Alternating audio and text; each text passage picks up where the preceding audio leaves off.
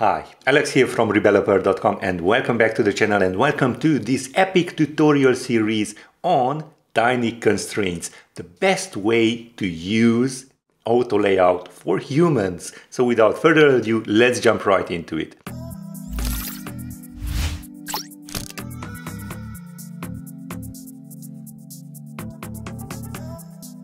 Okay, now you already know that I'm a huge fan of Tiny Constraints and go ahead and take a look at its repo on GitHub. Uh, it's by Robert Hein. I hope I uh, spelled that out right. And uh, yeah, if you uh, want to take a look at the example, you can simply uh, clone or download the uh, repo and take a look at it. It's kind of interesting. It it is kind of complicated too, so that is why I have decided to create this tutorial series where we will dive deep into tiny constraints and you will learn, well, mostly everything, 99% of tiny constraints. Uh, so you can use auto layout the easiest way possible. So what you need to do is, uh, first of all, click the link down below to get the resources because there will be some resources, nothing much. Uh, we are going to have uh, the pod file, of course, if you are interested in that, we are going to create that in just a moment. A tiny view that we are going to uh, constrain and some colors so we can get those lovely views, some uh, colors to it.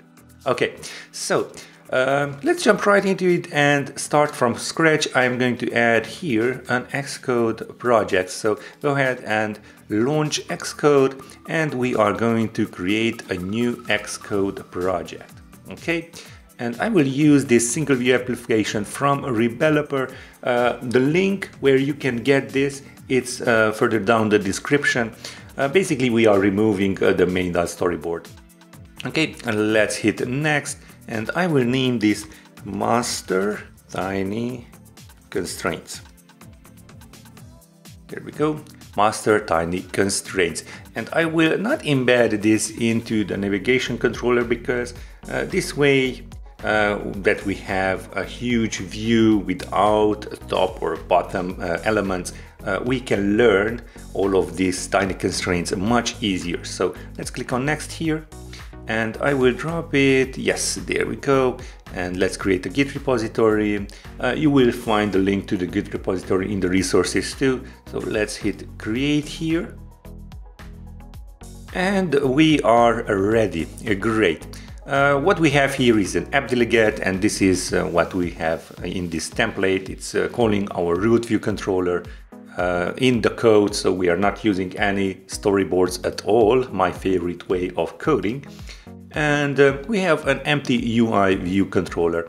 Now uh, let's add in these uh, resources, the colors, there we go. And uh, let's hit finish here. And let's add the tiny view. There we go. let's add it right over here. Okay, uh, under colors we have some uh, material colors here and uh, in the tiny view we have um, basically a UI view that has a corner radius and a border width. Um, you go ahead and take a look at it. We will see that uh, in action in just a moment. Now, uh, let us just close this because the next step is going to add in our tiny constraints cocoa CocoaPod. So once this is closed, and um, let me just open up so you can see what we are going to add in here. So we are going to set the platform to be iOS 12 and we are going to add this pod tiny constraints. And I uh, currently uh, the latest version is 0 uh, 400 and uh, yeah I'm go going to use that one. So let me just hit command C here to copy that out. Okay. So Let's open up terminal as usual and type in cd and the space and drag the root folder of our project into your terminal. There we go. And uh, hit uh, type in pod init. There we go. And that will create a pod file. Oh, I hit, need to hit return here. So cd uh, and drag and drop and hit return. There we go. Then pod init. There we go. We have created our pod file and I will comment this line out and set it to iOS 12 and basically paste that in with command V. Okay, there we go. And uh, let's just close this and finally pod install will install uh, tiny constraints into your project. And that is it. That is what we need to do. And uh, from now on, we are going to open up our workspace to work on this project. Okay, let me resize this. So let's see what we have here. Basically, it's the same, but we have in our pods, here is our pod file, and under the pods library, we have tiny constraints. So let's set this up and um, let's add in some views first of all. And uh, let's see. Let's add our view 0. I will add say, 5 views or something like that. And uh, we will um, play around with those. So view will be a tiny view. There we go. And as you can see, we have uh, two initializers. Those are uh, custom initializers. One with the background color and one with background color, corner radius and border width. So First of all, let's use this one. And for the UI color, I will just delete uh, on the holder and hit Command Shift M to bring up our media library. And I will just drag and drop this blue one right over there. Corner radius should be zero and zero. And you will find out in just uh, a moment why I want to have this because as of default corner radius I believe is 6 and border width is 2 Okay, so next up, let's create another view. View 1 equals, again, tiny view. And now we will choose only the background. Let's add in here a background color, Command Shift M, and drag and drop that blue color over there.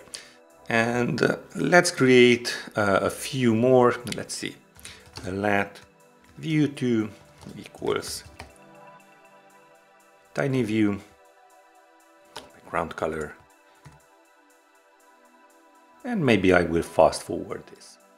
So there we go. We have our six views. Well, mostly we are going to use these last five. And uh, what we need to do next is uh, add our view a background color. So we don't have that uh, ugly black custom, uh, well, default uh, background color of a UI view controller. So view background color equals, and I will use this gray color. There we go. What do we need to do next? Well, we are going to set up our views. So let's create our function here, set up views.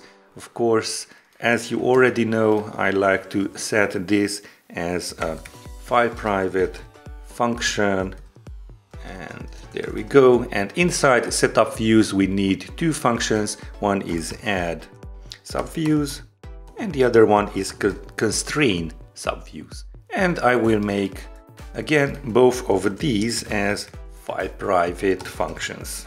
Now uh, that is the bulk of it. And uh, as you can see we already have some code here and I don't really like to mess up all of my UI view controllers so we get that massive view controller problem. So I will just add all of these three into an extension. So let's create a new file here and I will hit command N and uh, click on next for a Swift file and I will name this root view controller